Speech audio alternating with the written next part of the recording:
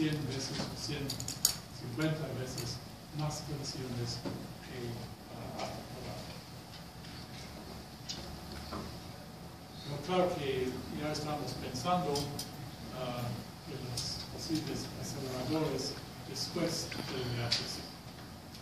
Uh, hicimos los primeros estudios uh, de física del VHC en 1984, pues hace 30 años. Y uh, ya estamos pensando en la física y podemos hacer un acelerador, con otro acelerador, 30 años en el futuro. Pues uh, una posibilidad sería construir un colisionador de electrones con positrones. Uh, tal vez un acelerador lineal, tal vez de uh, 50 kilómetros uh, de edad.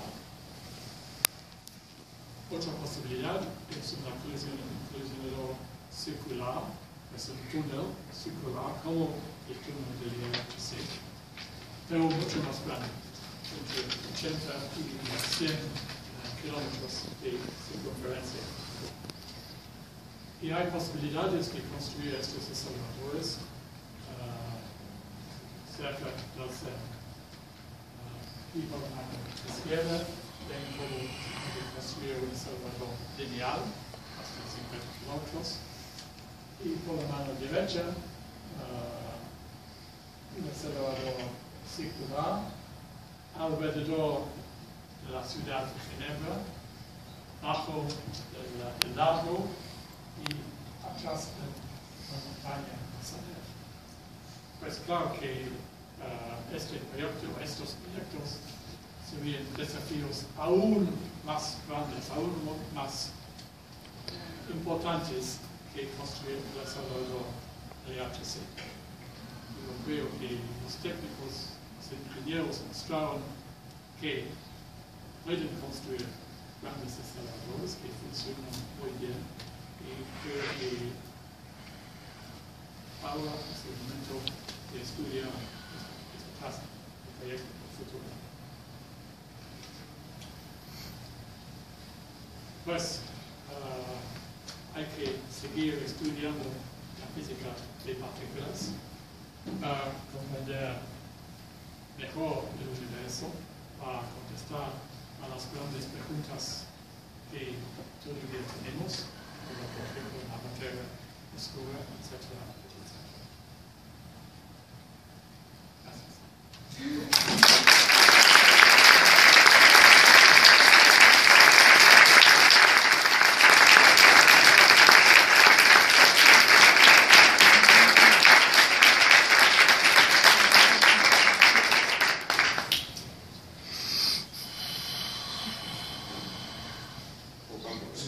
decir que creo que tenéis que presencia del profesor y hacerle las preguntas que queráis. Si no, os tenéis que hacer alguna a los demás. Si no, mucha más vergüenza. Yo quería preguntarle una cosa, aunque sea, aunque sea un absurdo, pero bueno, no sé, dentro de la, de la unidad que tengo por preguntarle alguna cosa. Ha, ha puesto, ha dicho muchas preguntas, ha puesto muchas preguntas ahí, eh, pero yo pienso que a lo mejor, mm, eh, aunque sean los aceleradores más grandes o estas preguntas finales que ha hecho, quizás solo somos como los que veamos nosotros para detectar lo que en ellos se produzca. Eh, es decir, los detectores que se utilicen para poder determinar lo que se produzca en ellos, yo pienso que es la clave para poder saber qué es lo que hay o deja de haber. Quiero decir con eso que si eh, hemos sabido estos días los detectores, tanto CMS como, como Atlas, a lo mejor existe otro tipo de método para poder ver lo que se produzca ahí dentro y cuál es su opinión al respecto. Estoy pensando, por ejemplo, en algo como infrarrojo, ultravioleta, no sé con otros ojos, ver los detectores de lo que sucede ahí con otros ojos. Es opinión al respecto. Pues, uh, quiere decir otros experimentos, los mismos experimentos, pero Con el mismo, con el mismo acelerador, Otra otra tecnología de- tecnología para poder detectar. Sí, sí, sí, claro que, que hay otros detectores uh, alrededor del LHC. Uh, por ejemplo, hay un detector especializado para uh, medir la diferencia entre la materia volante de hay un especial para estudiar el plasma primordial del universo. Uh, el, el CMS y Atlas tienen tal- también posibilidades para estudiar uh, este plasma uh, primordial. Pero hay, hay otros experimentos. Por ejemplo, uh, hay un uh, pequeño experimento que se llama MUEDAL, uh, elaborado para detectar los monopolios magnéticos. Y uh, teóricamente es una posibilidad que propuso, no sé si propuso Maxwell, pero cierto que propuso Dirac hace uh, 70 años. Y uh, es- hay, un, uh, hay un problema con el electromagnetismo, que conocemos cargos eléctricos, pero no conocemos cargos magnéticos. Solamente pares de cargos, no cargos sur. Pero teóricamente hay la posibilidad que existían, cargos ah, únicos. Y pues hay un pequeño experimento para ver esto.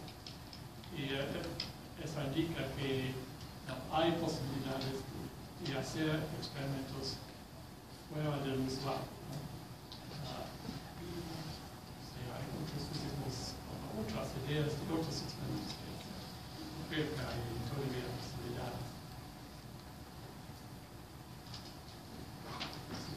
Usted, entre otros, calculó hace ya decenas de años lo que los experimentos deberían ver si el mecanismo de Higgs era cierto. ¿Qué sintió cuando hace un par de años lo encontraron por aquí? Son distintos, sí.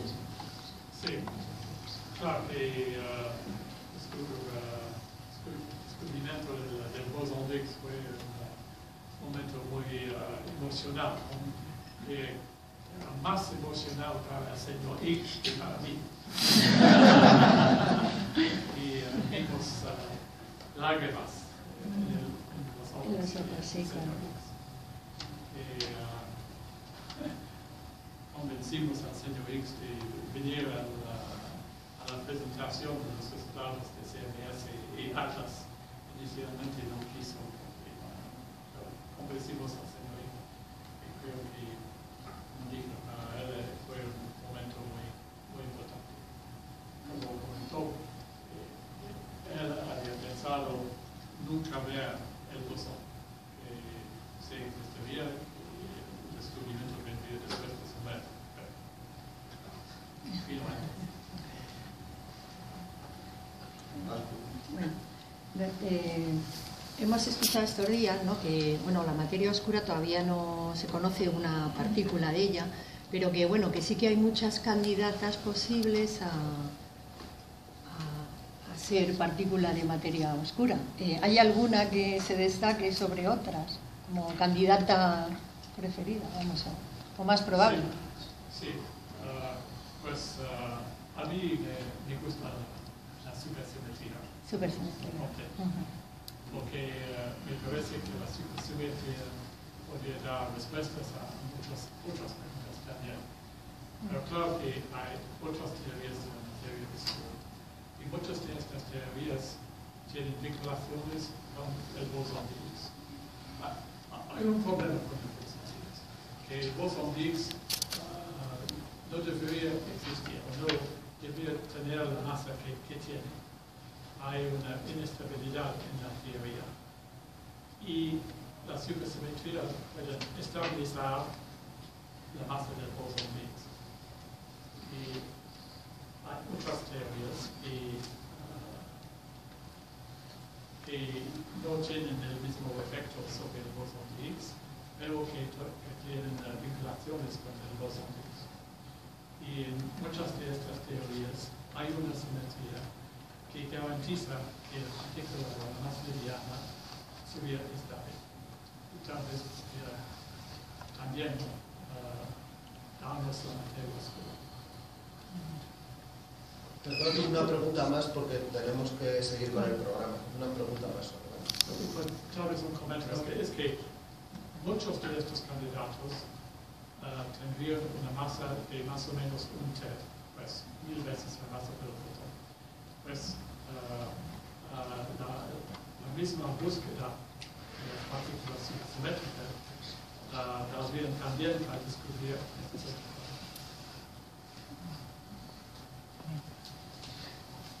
Una preguntilla. Eh, yo quería saber, porque no sé nada de la energía oscura, si hay algún tipo de relación, aparte del nombre, entre la materia oscura y la energía oscura. ¿Qué, qué puede haber entre, entre ambas? Pues, ah, la materia oscura y la, y la energía oscura tienen efectos gravitacionales totalmente ah, diferentes. Pues la energía oscura es una cosa ah, difusa como el campo Higgs, por ejemplo. Y el campo Higgs podría ser una fuente de energía oscura.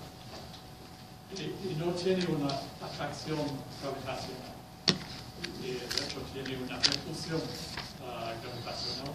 Es por eso que ah, la expansión del universo está acelerada.